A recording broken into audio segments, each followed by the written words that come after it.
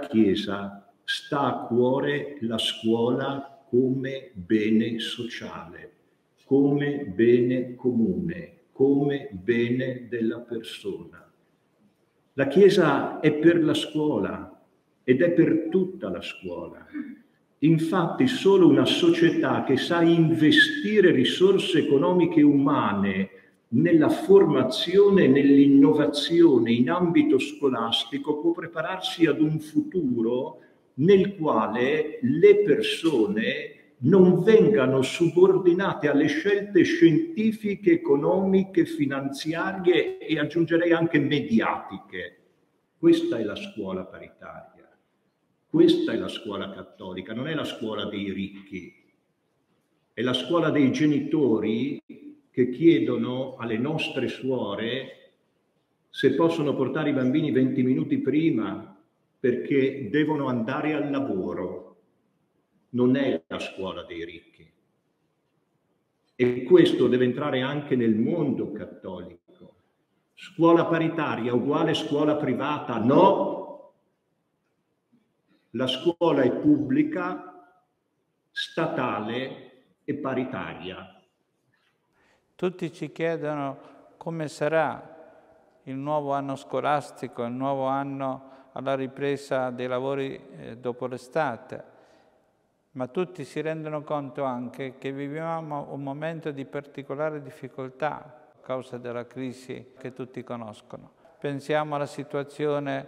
eh, Covid che ancora è in fase di eh, riprogrammazione, di sviluppo, di cambiamento e tante altre situazioni che oggi noi non possiamo assolutamente prevedere. La scuola paritaria collabora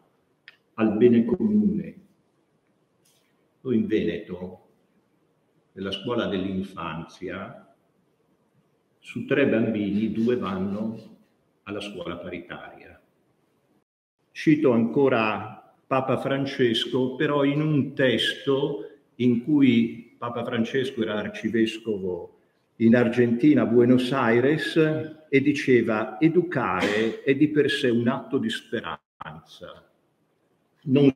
solo perché si educa per costruire un futuro, scommettendo su di esso, ma perché il fatto stesso di educare è attraversato da una prospettiva di speranza. La sfida educativa. Abbiamo intestato il nostro eh, campus con tre parole, conoscenza, competitività, competenza, coraggio. È evidente che eh, se non riusciamo a comprendere bene le situazioni non possiamo progettare il nostro futuro. È evidente che senza formare le competenze opportune le opere non possono andare avanti, però ci rendiamo perfettamente conto che abbiamo necessità di avere anche tanto coraggio e tanta speranza, evidentemente. Lo scenario a cui ci prepariamo è abbastanza complesso. Parliamo per esempio della transizione ecologica che richiede un cambiamento epocale anche per le nostre culture, anche per i nostri modi di vivere. Parliamo della digitalizzazione che ormai sta prendendo sempre piede, come trasferire queste novità sempre più approfonditamente nell'ambito della scuola, nell'ambito della sanità, nell'ambito dell'assistenza. Riteniamo che la tecnologia sia una riflessione che anche gli enti ecclesiastici devono fare per migliorare le loro performance da un punto di vista per quanto riguarda le scuole, le case di accoglienza per quanto concerne tutte le attività e le opere della Chiesa. Certamente per restare a passo con i tempi ci dobbiamo confrontare con queste nuove tecnologie e quindi dobbiamo eh, formare il nostro, il nostro, personale, gli enti gestori, i docenti, i coordinatori didattici affinché eh, imparino ad utilizzare prima e presto questi strumenti. Oggi avremo la nuova eh, legge sul reclutamento del personale docente, la riforma della scuola che continua e che quotidianamente ci chiede di eh, essere aggiornati, ma anche di essere pronti a, ad accettare e a vivere i cambiamenti che ci aspettano. In questi contratti che sono stati rinnovati in un periodo particolare, in un periodo ancora caratterizzato dalla pandemia, si è inteso soprattutto sottolineare l'aspetto normativo del trattamento del personale con alcuni istituti che vengono alla luce innovativamente rispetto al passato. Penso ad esempio alle ferie solidali, che sono un istituto molto importante in quanto chiamano gli altri lavoratori a sostenere eventuali problematiche di vita esistenziali dei colleghi di lavoro, potendo loro cedere a determinate condizioni una parte delle loro ferie per poter conciliare meglio i tempi di vita e i tempi di lavoro. Un altro aspetto importante che riguarda particolarmente la scuola è la durata dei contratti di lavoro a tempo determinato per i lavoratori, per i docenti che non sono abilitati e quindi è stata prevista la possibilità di prorogare oltre i termini legali, ma nell'ambito della delega che il legislatore ha attribuito alle parti sociali, la durata dei contratti a tempo determinato per chi ancora non è stato eh, abilitato. Una delle capacità secondo me importanti e uno dei punti nodali del nostro essere eh, coloro che propongono eh, una scuola paritaria è quello di saper leggere le esigenze del territorio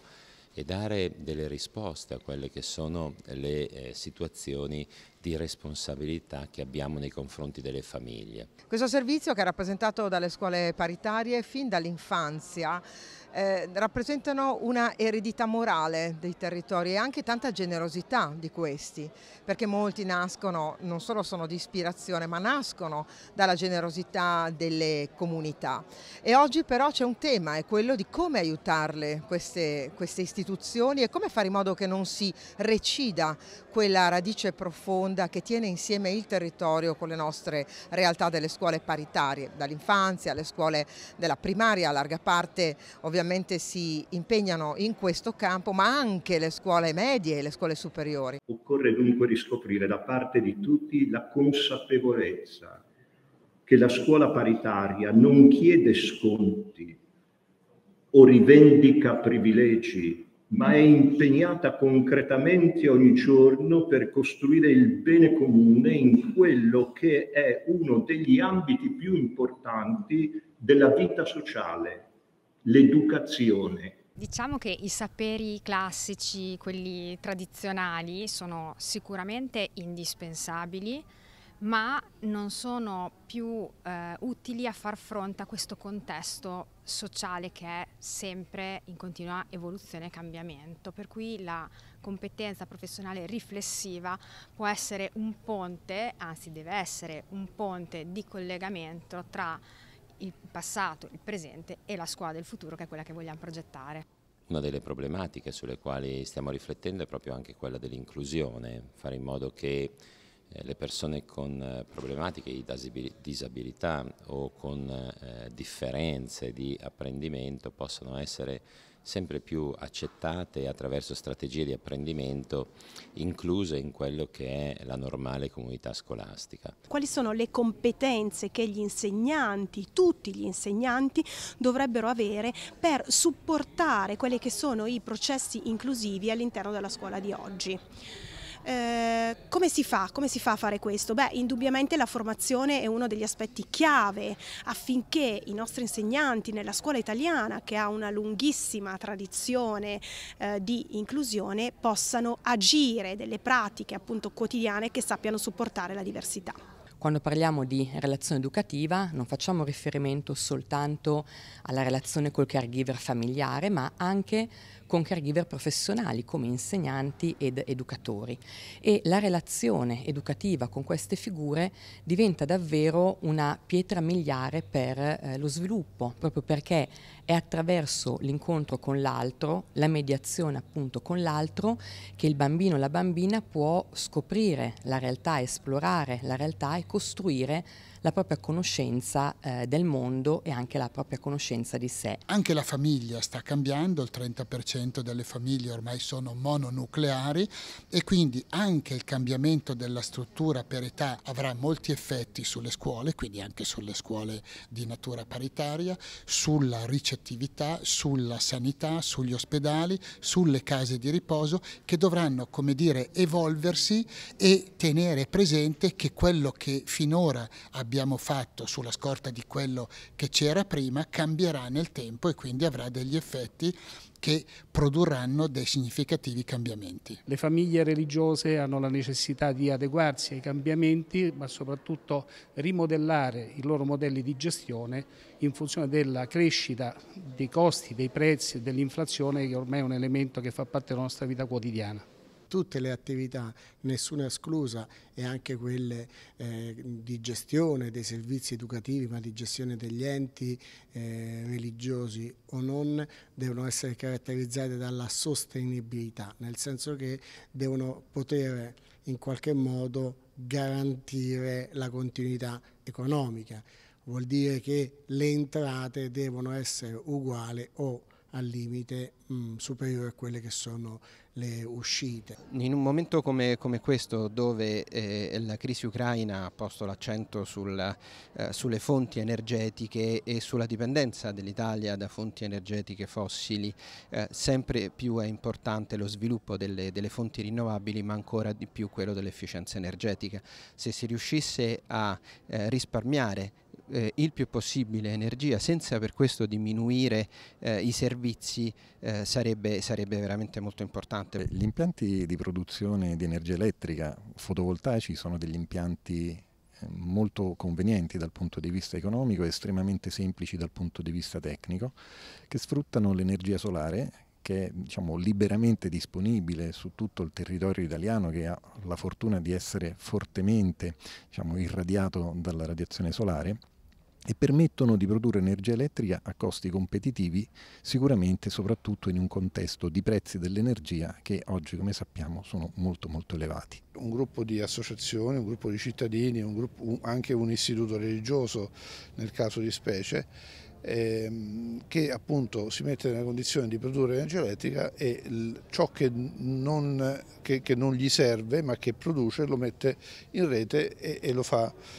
consumare da quelli che appartengono a questa comunità energetica che ne hanno bisogno e qui si crea questo meccanismo virtuoso di chi produce energia elettrica